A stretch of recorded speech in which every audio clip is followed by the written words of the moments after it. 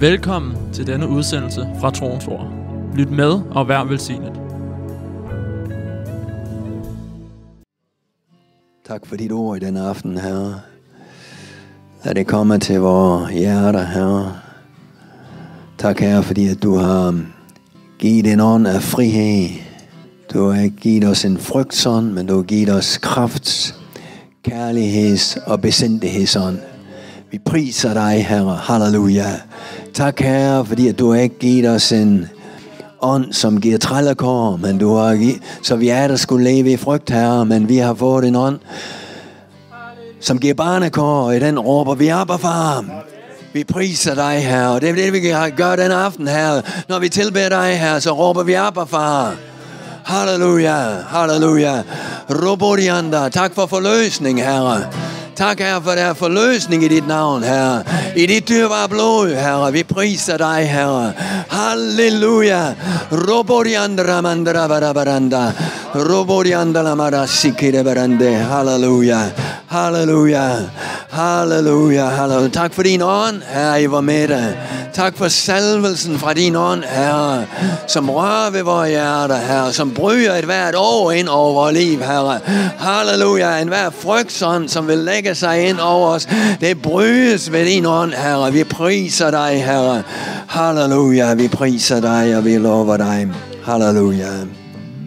Halleluja. Halleluja. Priset være hans navn. Halleluja. Han er værdig vores lovsang og vor tilbedelse. Halleluja. Uh, halleluja. Pris skal Gud.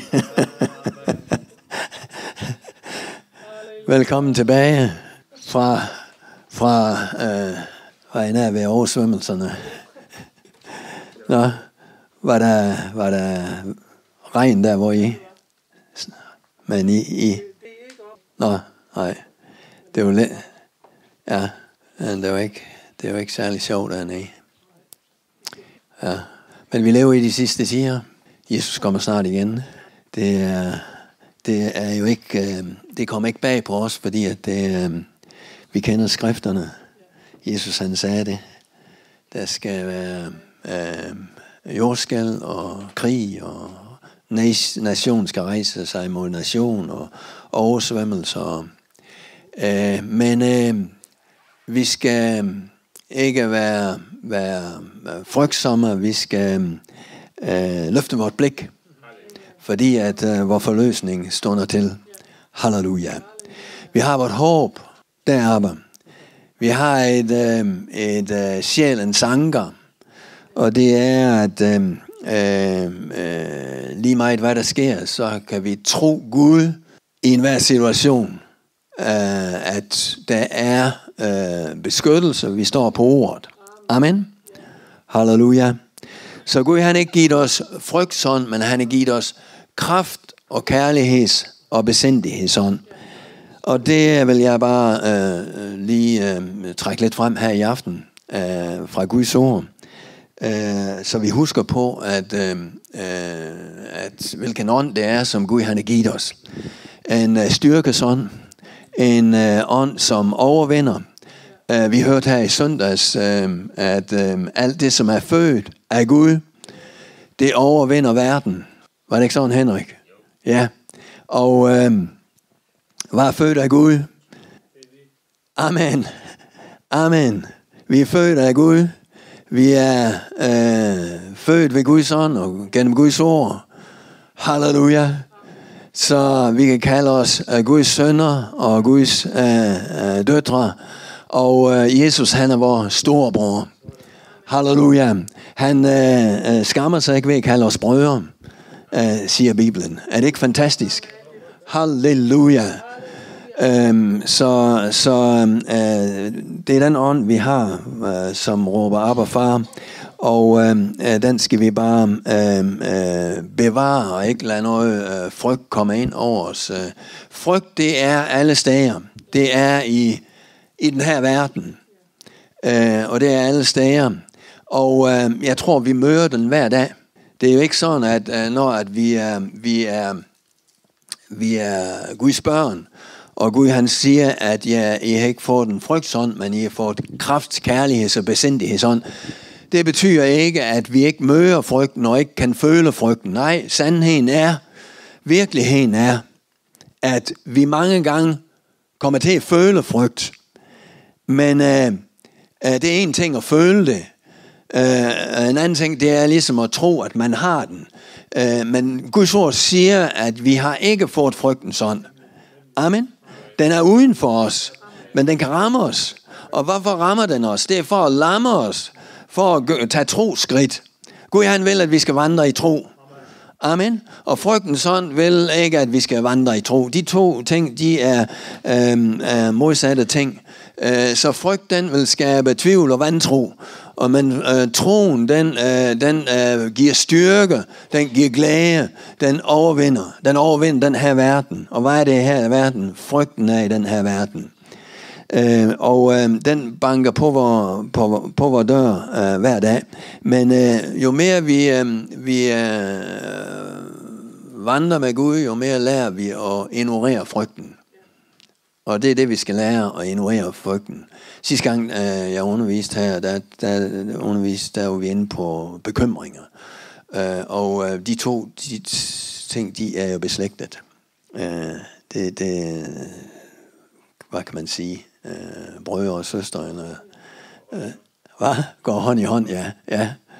Øh, kommer frygt, så kommer også bekymringer. Kommer bekymring, så kommer frygten snigende. Øh, men øh, øh, Jesus han sagde, at vi skulle ikke øh, øh, være bekymrede for nogen ting, men vi skal øh, tro ham. Og han sagde, øh, søg først Guds rige og hans retfærdighed, så skal alle de der ting gives jer, alle de andre ting.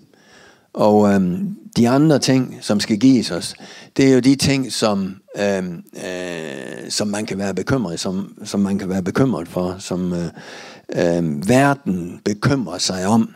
Øh, klager, øh, mag og, øh, og så videre. Og øh, det har Gud lovet, at når vi beder om daglig brød, så giver han os daglig brød.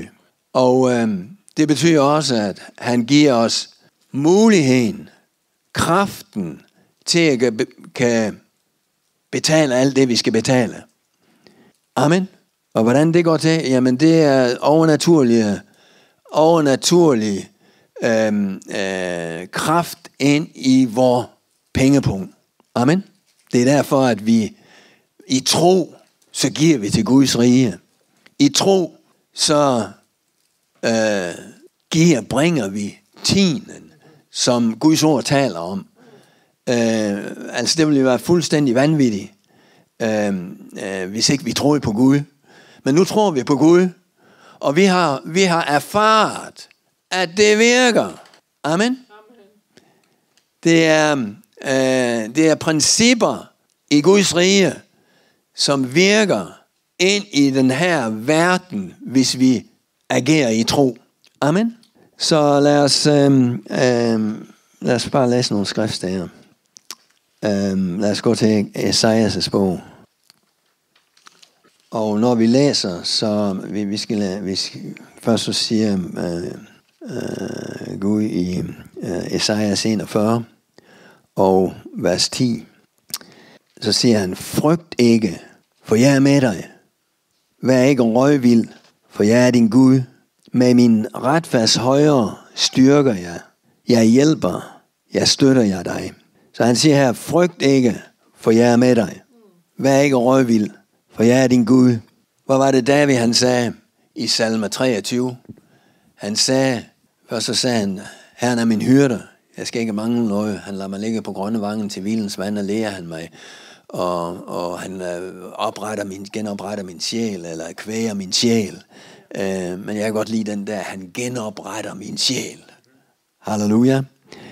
Øhm, det er den engelske, der siger det, og jeg ved ikke, om det er nogen af de danske, der siger det. Og vi, er, vi har jo efterhånden mange danske forskellige oversættelser, så en gang så var der kun en, øh, en enkelt eller to, vi forholdt os til.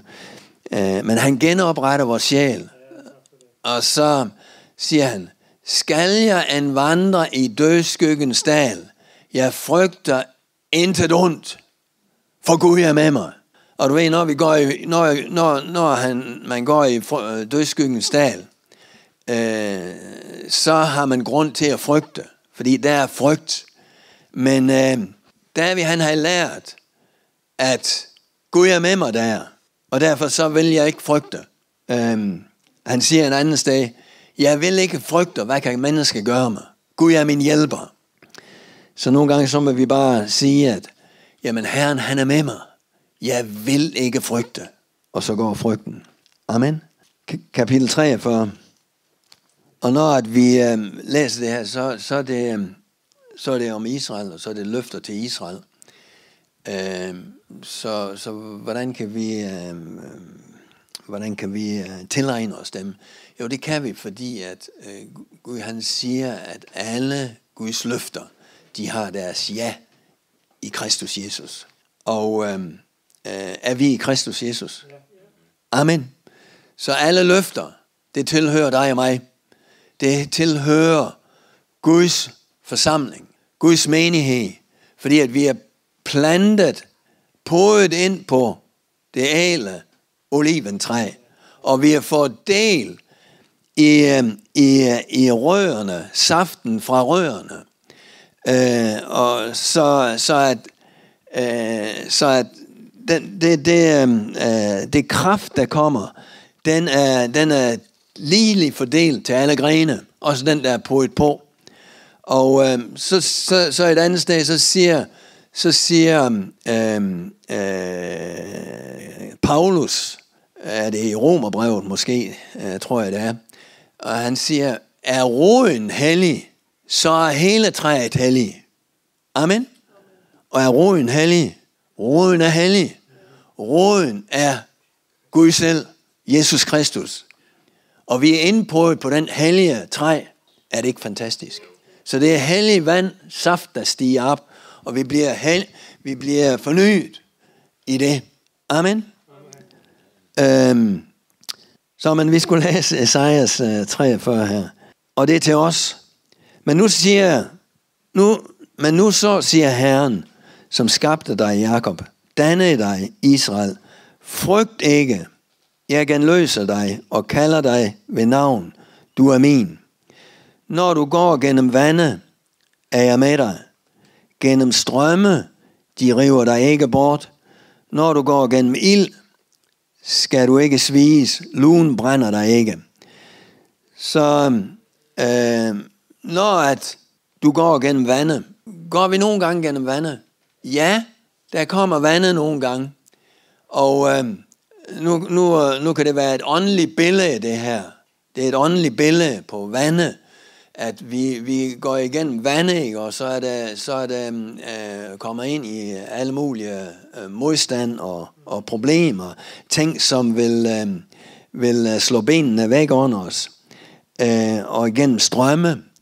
Og øh, jeg tror endda på, at som øh, øh, vandstrømme, vi har set ned på nyhederne fra øh, Centraleuropa, at øh, der kan vi tro Gud, at om der kommer vandstrømme her, der er han lov, der er han med. Og hvis han er med, så baner han en vej igennem det. Gennem strømme, de river dig ikke bort. Når du går gennem ild, så skal den ikke sviges. Luen brænder dig ikke. For jeg er din Gud. Jeg er Herren, Israels hellige, din frelser. Jeg giver Ægypten som løse som Etiopien og Seba i dit sted, fordi du er dyrebar for mig, har vær og jeg elsker dig. Jeg giver mennesker for dig, og folkefærd for din sjæl. Frygt ikke, til jeg er med dig. Jeg bringer dit afkom fra østen, sanker dig sammen fra vesten.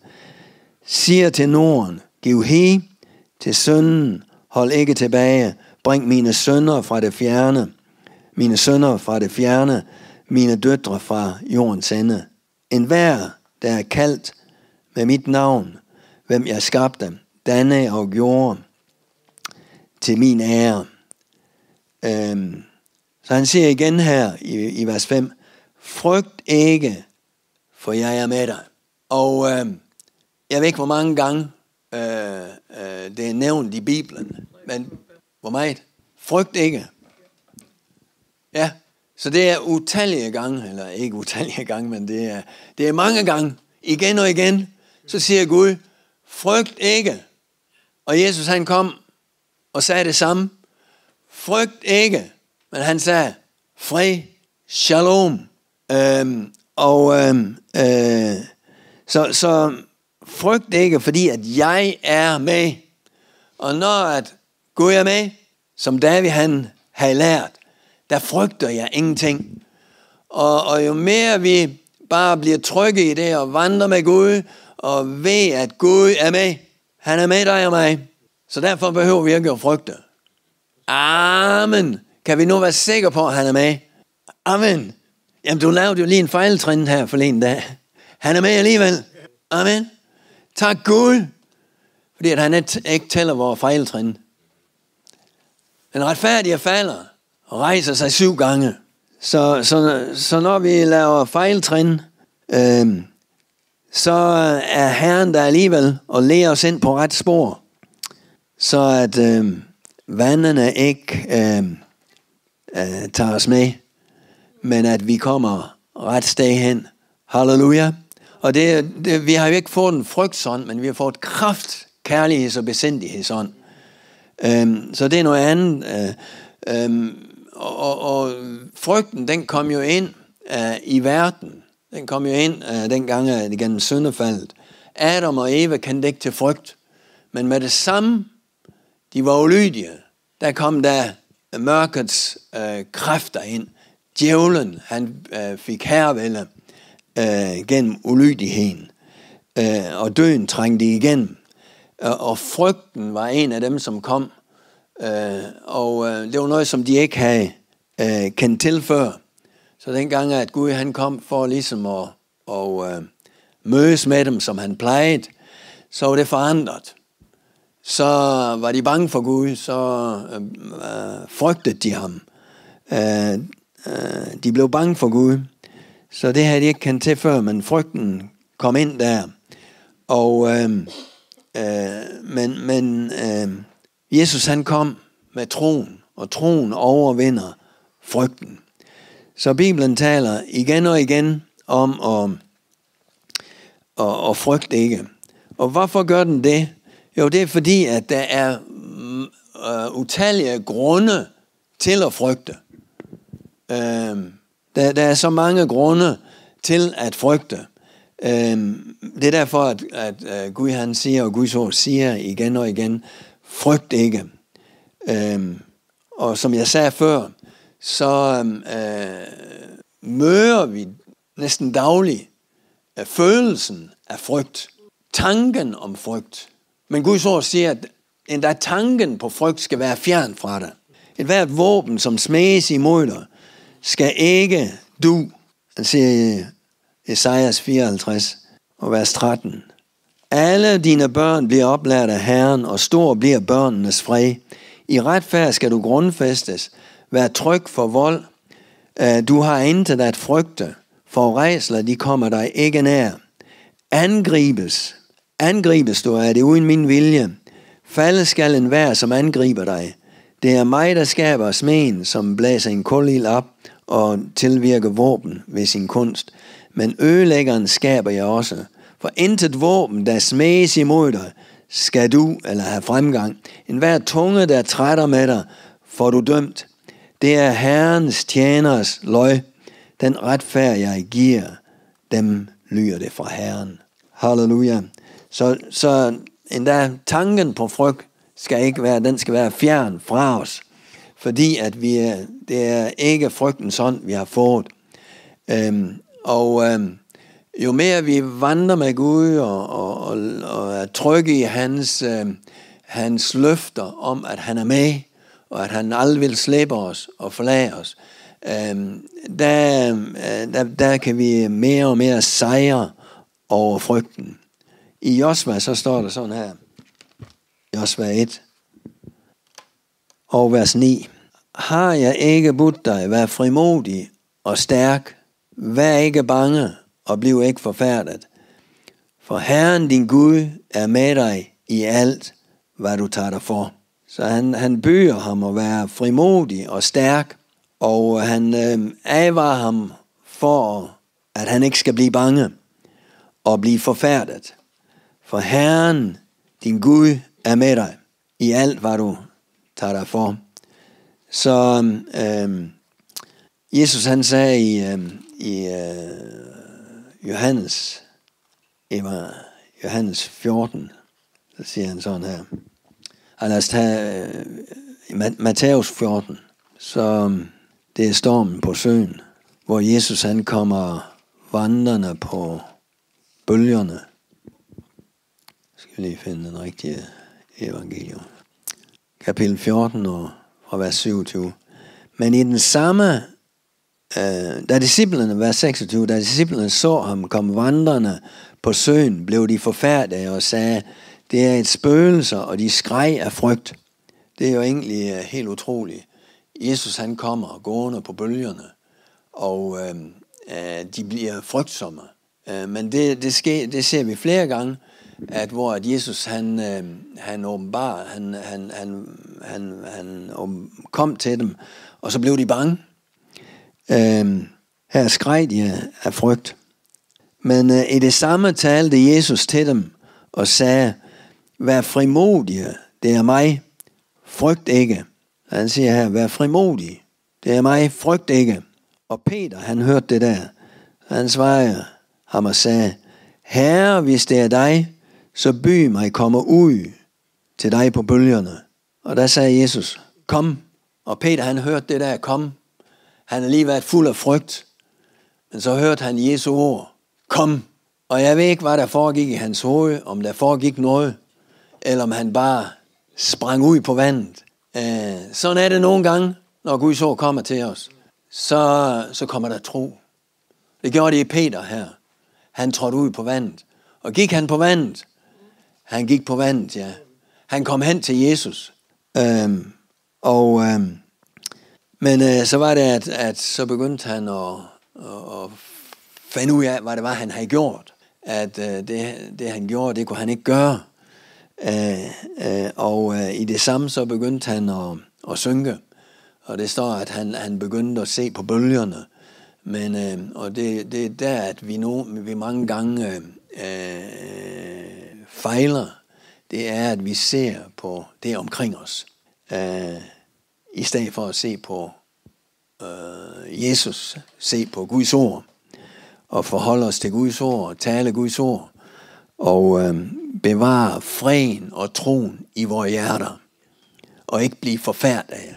Og det, det er nok det, Peter han, han, blev, han blev forfærdet det går over at se de der bølger, øh, og så sned der sig noget ind, øh, så at han begyndte at synge, men han vidste godt, hvor han skulle få hjælpen. Øh, og i det samme så skreg han ud, Jesus, frels mig! Og hvad skete der? I samme øjeblik, så kom han op på vandet igen. Amen.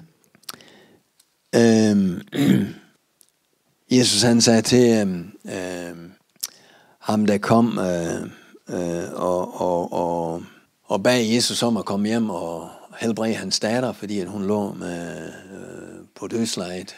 Øh, og øh, så blev han optaget af den øh, øh blodsårdige kvinde, Jesus, og, og der skete så mange ting. Så det tog lidt tid, så han nåede ikke derhen, så inden han... Øh, Inden han kom derhen, så kom der altså øh, allerede en budbringer og sagde, at øh, øh du skal ikke, øh, du skal ikke øh, øh, komme til mit, du behøver ikke komme til mit hus, sagde han, fordi at hun er død. Øh, men Jesus han sagde med det samme, frygt ikke, tro kun, lige nøjagtigt. Og øh, fordi at frygten, den vil banke på, men øh, Jesus han siger, frygt ikke, tro kun. Og øh, øh, må vi bare have, have troen øh, i vores hjerter, og Guds fred i vores hjerter. Øh, så Jesus han siger sådan her i Johannes 14 og vers 1, der siger han, jeres hjerter forfærdes ikke. Tro på Gud og tro på mig. Så nogle gange så kan, så kan øhm, vores hjerter være forfærdet. Men Jesus han sagde, sagde til disciplene, jeres hjerter forfærdes ikke, men tro på Gud og tro på mig. I min fars hus er der mange boliger. Hvis ikke havde jeg sagt det til jer, for jeg går bort og gør en plads rege for jer. Så der, der, der sker noget i himlen. Der er aktivitet. Der er en plads, der bliver gjort rege til, til os alle sammen. Men øh, vores de er ikke klar endnu. Men den bliver klar. Halleluja. Så i, og i vers 27, så siger han sådan her. Fred efterlader jeg jer you know, han taler om, at han, øh, han, han går bort, og han, han siger, at men talsmanden, Helligånden, som faren vil sende i mit navn, han skal være med jer, øh, lære jer alle ting og minde jer om alt, hvad jeg har sagt jer. Fred efterlader jeg jer. Min fred giver jeg jer. Jeg giver ikke, som verden giver. Jeres hjerter forfærdes ikke, og vær ikke modløst. Så øh, Jesus han snakker om fred her. Hans fred. Den fred, som han giver. Øh, det er en fred, som verden ikke giver. Og når, når mange gange så tænker vi, når vi, når vi siger fred, ikke, så tænker vi stillhed. Det er ikke den fred. Øh, fred, det er uh, well-being. Altså, det, det er liv, det er, øh, det, det er Guds fred, shalom fred. Øhm, og den bevarer vores hjerter fra forfærdelse og fra et modløst hjerte. Jeres hjerter forfærdes ikke og vær ikke modløse. Men fred, Guds fred, øhm, når vi bevarer den i vores hjerter, der er der basis for tro, og frygten kan ikke komme ind. Fordi det er det, frygten vil. Frygten vil banke på vores dør for at komme ind. Men der skal vi have, der skal vi have fred. Øhm, shalom fred. Så troen har grobund. Og i, øhm, om i kapitel 16 og vers, øh, vers 33, så, øhm, så siger han sådan her. Han siger i vers 32, Se, den time kommer. Ja, den er allerede kommet, da I skal spredes hver til sit og lade mig ene tilbage. Dog jeg er ikke ene, for færen er med mig. Amen. Dette har jeg talt til jer, for at, I, for at I skal have fred i mig. I verden har I trængsel, men vær frimodige. Jeg har overvundet verden. Så Jesus han sagde her, dette har jeg talt til jer, for at I skal have fred i mig. Så når Jesus han taler, så bringes der fred så er, der, så er der fred i hans ord. Det bringer fred ind i vores hjerter. Det er derfor, at vi, vi, øh, vi skal øh, have et forhold til ordet. Vi skal være i ordet. Vi skal lytte til ordet. Vi skal læse ordet. Vi skal have ordet til at, og, øh, øh, ja, til at, være aktiv i vores liv. Fordi det bringer fred. Og lad Gud, og lad Gud tale til os, lad Jesus tale til os. Det der har jeg talt til jer, for at I skal have fred i mig. Fordi at i verden, der har I trængsel. Og det er vi enige om, at i den her verden, der er der mange problemer, trængsel, problemer. Men vær frimodige, jeg har overvundet verden. Så, så Jesus han taler om, at vi skal, vores hjerter skal ikke være, være øh, bange, og vi skal ikke være forfærdelige. Men øh, vi skal tro på ham, og vi skal have fred i hjertet. Øh, han sagde til Josva, vær ikke bange og bliv ikke forfærdet. Når vi har Guds fred i vores hjerter, så, så er forfærdelsen, den, den, er, den er ude af vores, vores hjerter. Øhm, så vi må bevare freden i, i vores hjerter, og der overvinder vi frygten, der overvinder vi verden. Og det er så, det er så dejligt, han siger, at i verden har I trængsel, men vær frimodige. Jeg har overvundet verden. Amen. Og troen på ham, ikke? Og vores tro på ham, den overvinder verden. Fordi vi er født af ham. Halleluja. Um, det er Johannes, 1. Johannes 5. Det er, det er egentlig så simpelt. Uh, Jesus han sagde i uh, uh, Johannes 14, uh, jeres hjerter forfærdes ikke. Tro på Gud og tro på mig. Og Johannes han siger det sådan her. Johannes 5, og vi kan bare læse fra begyndelsen. En hver, som tror, at Jesus er Kristus, er født af Gud. Og enhver, som elsker den, der er født af ham, elsker også den, som er født af ham. Derpå kender vi, at vi elsker Guds børn, når vi elsker Gud og gør efter hans bud. Til det der er kærlighed til Gud, at vi holder hans bud, og hans bud er ikke byrdefulde. For alt det, som er født af Gud, sejrer over verden. Og alt det, der er i verden. Frygt, sygdom, mørke, tvivl, vantro. Og dette er den sejr, som har sejret over verden. Vor tro. Halleluja. Hvem kan sejre over verden, uden den, som tror, at Jesus er Guds søn? Tror du, at Jesus er Guds søn? Så kan du sejre over verden. Halleluja. Så kan vi se mirakler. Så kan vi se det overnaturlige i vores liv. Halleluja. Så vi skal have Guds fred i vores hjerter.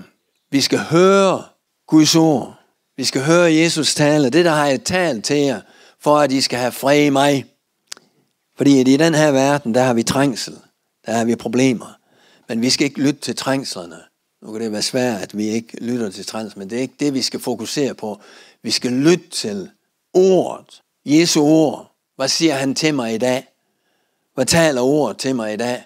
Og det bringer fred ind i hjertet, og det holder alt muligt andet ude. Amen. Og skulle der være kommet noget ind, så er det en måde at få det ud på.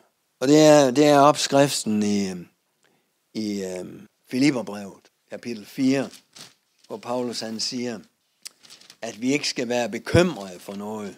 Og det er jo, det er jo simpelthen let at sige, øh, men det er svært at leve efter, som jeg sagde i går sidste gang. Øh, øh, når du opdager, at du er bekymret, så er du allerede langt inde i det. Øh, men hvad skal vi gøre så? Jo, han siger, vær ikke bekymret for noget i vers 6, men lad i alle ting jeres ønsker komme frem for Gud, i det I beder og bønfalder under taksigelse. Så skal Guds fred, som overgår al forstand, bevare jeres hjerter og jeres tanker i Kristus Jesus. Her er det igen Guds fred, som overgår al forstand. Det skal bevare vores hjerter og vores tanker i Kristus Jesus. Det skal bevare hjertet fra, fra at blive forfærdet og for at blive bange.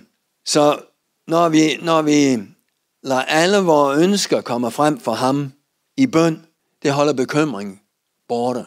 Det var den måde, vi læser byrder af vores skuldre. Nogle gange så kan der komme byrder på vores skuldre, ikke?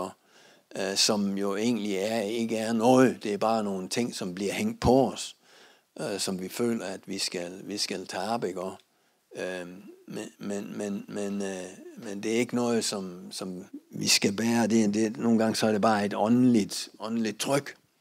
Øh, men når vi, når vi øh, øh, lader vores ønske komme frem for Gud, i det vi bærer og bønfalder under taksigelse, og lad ham, øh, lad ham og nogle gange så vi bare, så bare give alle bekymringer til der, ham.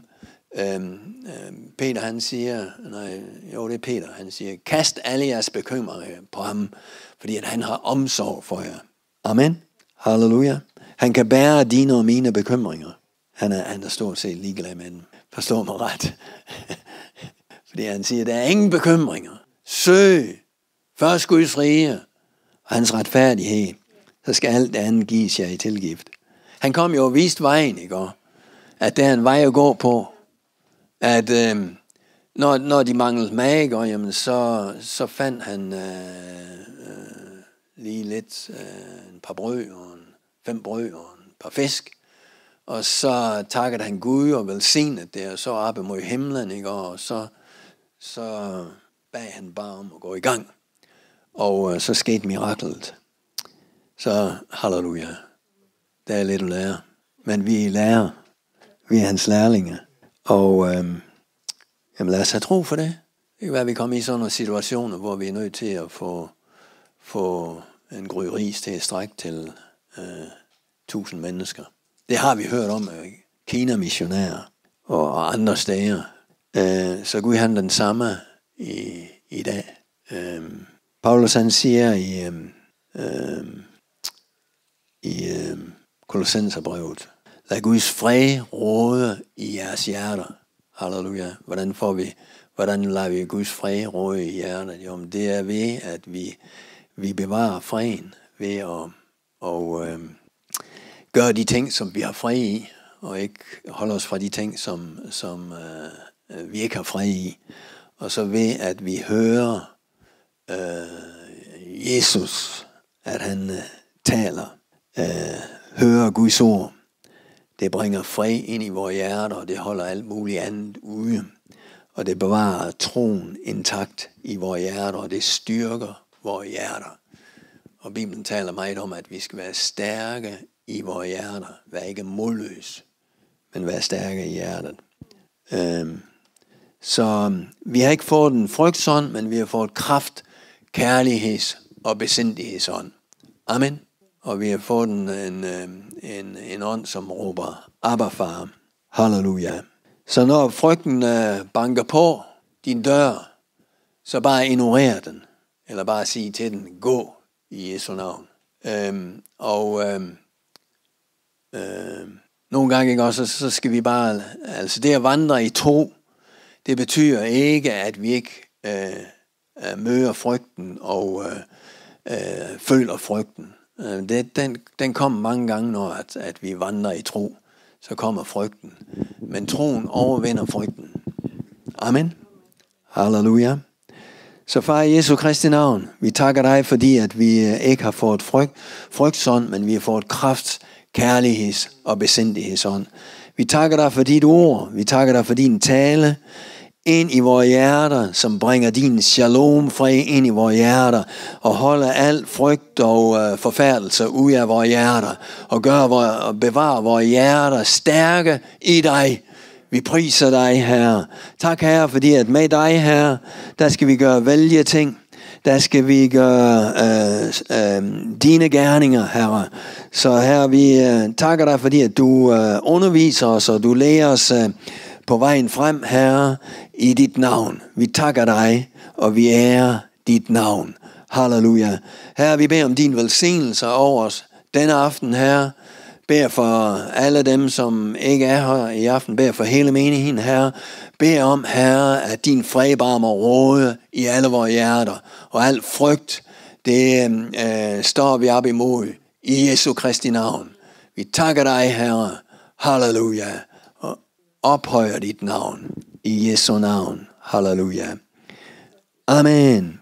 Mange, mange har behov for Guds fred for at sejre over frygten i vores nation. Så, så øh, vi skal bare se øh, et gennembrud. Øh, og øh, i Jesu navn. Halleluja.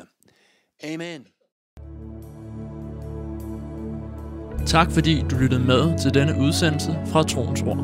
For mere information og for at kontakte os, gå til www.troensord.dk